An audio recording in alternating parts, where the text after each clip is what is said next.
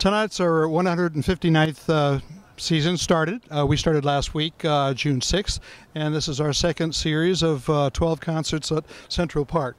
I'm Jim Culbertson, the director, and uh, we have uh, quite a, many good shows planned for all of you. And every week we have an instrumentalist and a, and a featured guest vocalist as well. If you're not out here, come on out. It's a it's a good time every Monday. We are here every Monday from seven to nine uh, in Central Park, uh, and on Sundays we're at uh, Fairview Park from six to seven. So uh, we hope that uh, you can all find some time to come out this summer. The band's good.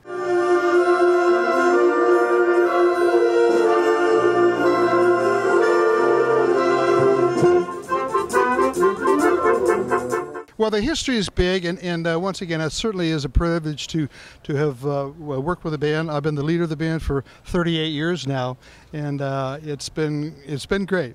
so once again, it's very humbling the fact that uh, I'm the leader of the band, and, and I take a lot of pride in that. And every year, it seems to be getting a little bit better. So it's a, a lot of fun to conduct and, and to be around uh, good, smart musicians who know what's going on.